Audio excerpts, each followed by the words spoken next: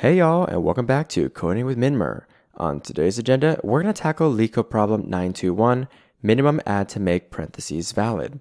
After that, we'll go over an actual variant of the original question that Meta asks.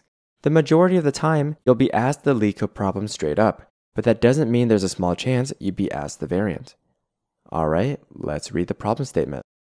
We're given a parentheses string, and we want to figure out the minimum add to make the parentheses valid. And ultimately, we want to return the minimum number of ads required to make our parentheses string valid. I don't know, I just thought the word ads would be more fitting. Okay, so first off, what is a parentheses string? Well, it's a sequence of characters of only opening parentheses and closing parentheses, like so. As you can see, you have some open parentheses, but also some closing as well. Keep in mind, you can be given letters as well, but that's not too important. I'll address it later on. A second question I have is what does it mean for this parentheses string to be considered valid? Or, and I'm going to use this synonym word a lot, balanced. Well, thank goodness LeetCode has a huge block of text here to answer this. It's all confusing, but it just means we need a closing parenthesis after an opening parenthesis for it to be balanced. One close for one open. And just as a note, this closing parenthesis doesn't necessarily have to validate this open parenthesis. It could have matched this one for all I care. It doesn't matter, just so long as there's a close after the open. And while we're at it, here's another match, as well as this one, and lastly, this one. So in regards to our example here, we have a totally balanced parentheses string. Recall there's one last part to the LeetCode problem, we need to return the minimum number of adds to make it valid and balanced. Since it already is, we just return zero. We didn't have to add anything. This is our answer and this is what we return. Let's look at some other examples of other cases where we may have to add and insert more parentheses. Let's take this extremely long example up next. As developers, we want to approach this in a programmatic way, but how? Here's the general thought. If for each open parenthesis, we want to detect corresponding closing parenthesis somewhere after it, then can't we simulate this with a left to right for loop through each character and track the number of extra open parentheses that have yet to be balanced? Let's name it extra opens like so. We'll increment this count if we see an open parenthesis, and we'll inversely decrement it if we see a closing parenthesis thereafter. Okay, that's the idea. Let's try it out. On the first iteration, we have one open parenthesis. So far, for all we know, it remains unbalanced. Therefore, we'll increment our count here. And as you'll soon see, maintaining this count means we'll know if we will have too many extra open parentheses or too few. That'll signify to us that we may need to add more parentheses to make the whole string valid. Okay, that's the gist of it. One last note, I'm also going to visually draw the value of our variable here as well, just so we can follow along easier. On the next iteration, we have a closing parenthesis. Fantastic. It'll validate our singular open parenthesis. This obviously means we no longer have the extra open. Let's decrement our variable here back to the zero. Let's denote that visually with the zero. If you take a look at our two characters so far, it's indeed a balanced string. Let's move on. Now up next, we have an open parenthesis. Let's up our count variable. That's all we'll do. On to the next iteration, we have yet another open parenthesis. Let's increment once more and pray that one day we'll encounter a closing parenthesis. Luckily, on the next iteration, we indeed have a closing parenthesis. We have two extra open parentheses as seen by this variable. Here they are, one, two, one of them will be validated. It doesn't matter which one at all. But sure, let's go with the closer open parenthesis. Since we saw a closing parenthesis, let's decrement our extra opens count to 1. As is, we only have one more extra open parenthesis that must be balanced. Here it is. On the next iteration, we have another closing parenthesis. We know which open parenthesis it's meant for. It's this one right here. As always, we'll decrement our count like so. Now, this is where it gets a bit interesting. We encounter yet another closing parenthesis, but this time we have zero extra open parentheses. And as you can see in our input string, there is no unmatched open parentheses anywhere. What do we do? Well, we have no choice but to add an open parenthesis to compensate. It doesn't matter where it is, just as long as it shows up before the closing parenthesis. But let's immediately question this action. Do we necessarily have to insert a character into our input string here? No, we don't. Remember, we only care about the minimum number of parentheses we had to add, not actually add it itself. If we did, that would be a big O of n operation, that inside an already big O of n left to right for loop would result in a n squared exponential runtime solution. That's not ideal. Instead, what we'd like to do is also track the number of minimum adds, min adds for short, to make our parentheses string valid. And we can increment at any time we encounter a closing parenthesis but don't have any open parentheses for it. So let's update that from 0 to 1 we just captured the insertion with our min adds variable. And since we did that, it's as if we did have an open parenthesis, there's no need to decrement our extra opens count. It remains at the zero.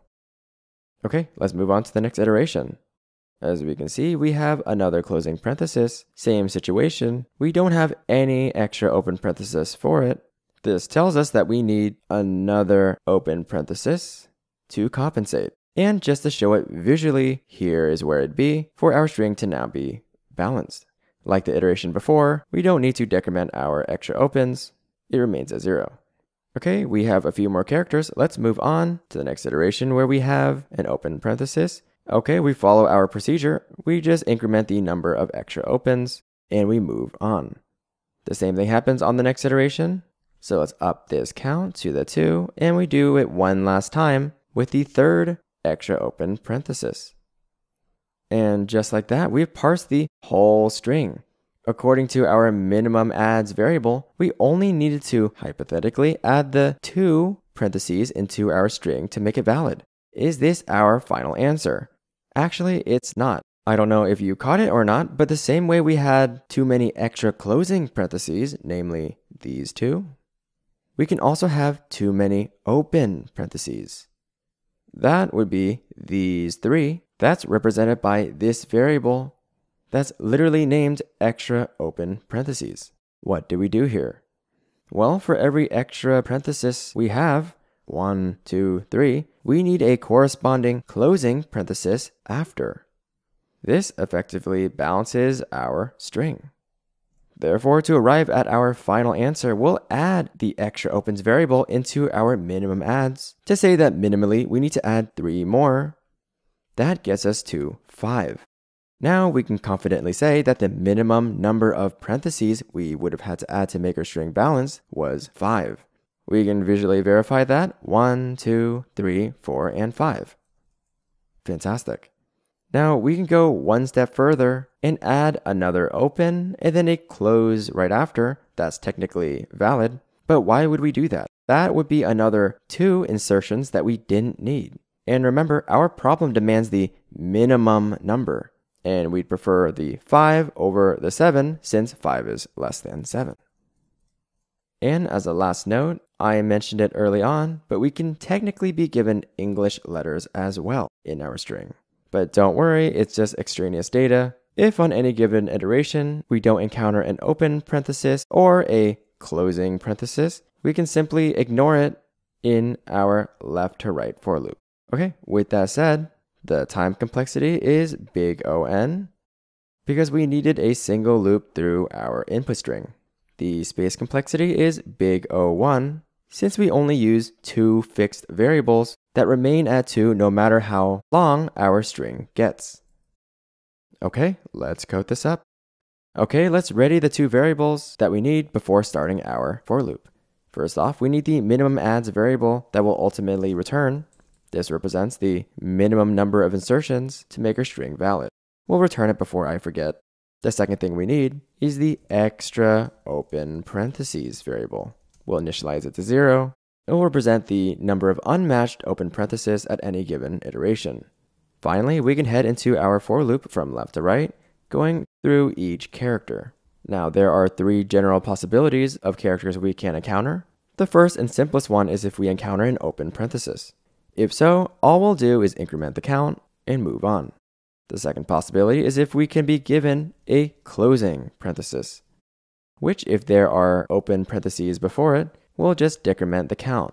However, in the case where we have zero extra open parentheses left, we'll compensate by incrementing our min adds variable to say that we should add another open parenthesis to make our string valid. And since we do that, we'll just continue to the next iteration. There's no need to decrement the count. The last possibility, remember, is that we can be given English letters like A, B, or C, in which case we don't actually do anything. We'll remove this branch. It's technically obsolete. We're not done yet. The very last thing we do is if we have any extra open parentheses left over, we'll add it to our minimum adds variable to get our final answer. If we didn't have any extra open parentheses after our for loop, this value would be zero and there'd be no side effect here. Either way, it works out, and there you go, that's the code. With that said, let's dive into the variant.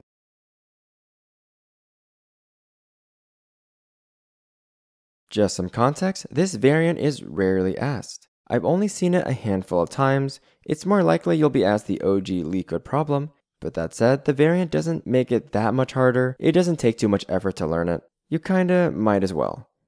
Okay, so looking over the problem description, all the text remains the same except for one part. Check out this lonesome paragraph down here.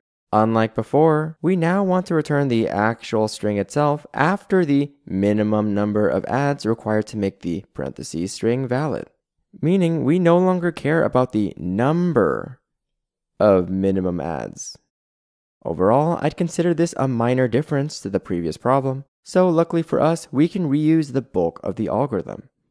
Let's go through an example and see what logic changes. Okay, so as you can see here, we have our input string, as well as the two variables we had in the previous problem. But remember, I had just said we no longer care about the integer count of the min ads. I wasn't kidding, let's get rid of it. Alright, now we can start our for loop. On the first iteration, we have an open parenthesis. Just like before, we'll increment our extra opens variable. I'll also draw the 1 here, just so we can follow along a bit easier. That on any given iteration, we can tell how many extra open parentheses we had. We're not done with the iteration yet. We want to build the resulting string, right? Let's do one more thing then. Anytime we encounter an open parenthesis, we'll blindly add it to a resulting string, perhaps called result. But how are we so sure that this open parenthesis is part of our answer? Well, remember, this problem is all about the minimum adds to make the parentheses valid. We can't remove any open parenthesis and make it not our problem anymore, so we have no choice but to balance it with either a closing parenthesis later on, or with a closing parenthesis that we insert ourselves.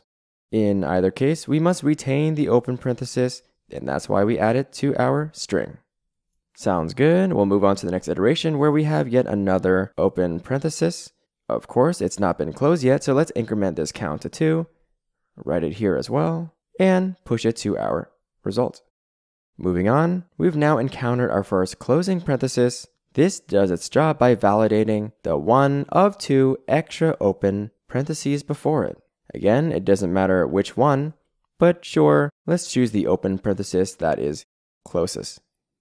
This in turn must mean that the closing parenthesis is part of our answer, since it helped balance our input string we'll push the closing parenthesis to our result. And just like before, since it decreases the number of extra open parentheses from 2 to the 1 here, we'll decrement our extra opens count to 1. Let's denote it here as well. We move on to the next iteration where we have another closing parenthesis. We know what open parenthesis this is meant for. It's this one right here. Let's add it to our result and decrement our count we no longer have any open parentheses to be balanced. They're all used up. On the next iteration, we have yet another closing parenthesis. This is one too many. We don't have enough extra opens. We have zero.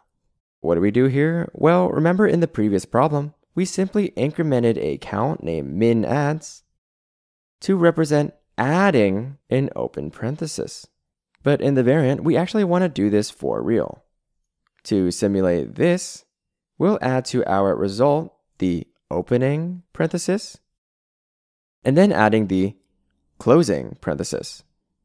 And that's what we'll do when we have one too many closing parentheses. To clarify, yes, we add the open parenthesis right here, not in the actual input string, but I'll just leave this here to show it visually of what we're trying to achieve and how we achieve the balance. Remember, we don't decrement our extra opens, it remains at the zero. Okay, moving on, we have an open parenthesis. As per usual, we'll increment our count here to the one, and then push it to our resulting string. After that, we reach the last iteration where we have an open parenthesis. It's another one that has yet to be closed. Let's increment our extra opens here. As per usual, we'll add the opening parenthesis to our resulting string.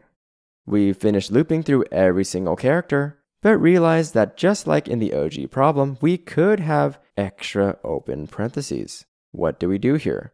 Well, it's quite simple. However many extra open parentheses we have, one, two, as denoted by this variable here, we want to add the same number of closing parentheses, 1, 2.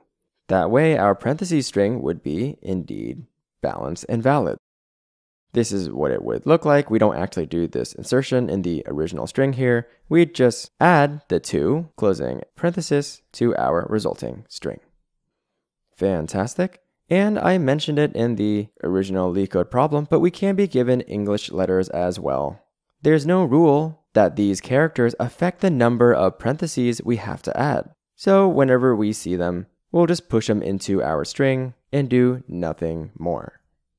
Okay, and that's pretty much it. This is our ultimate answer, and this is what we return. Minimally, we had to insert three parentheses. Here they are. It's a bit hard to see, but this is the first one, second, and third. The time complexity is big O-N, and the space complexity remains at big O1, unless you want to count the auxiliary space of the result variable, in which case it'd be big O(n). Alright, the code doesn't change that much. Let's get started. Okay, just like we did in our walkthrough, the first thing we do is get rid of our minimum adds variable and replace it with a resulting string. We'll slowly build that string and return that instead. Let's remove all mention of min adds.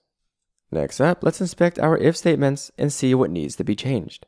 In the case we encounter an open parenthesis, we'll still increase our extra open parentheses count, but now we'll do one extra thing. Since we want to return the string itself, we'll push back and retain that open parenthesis.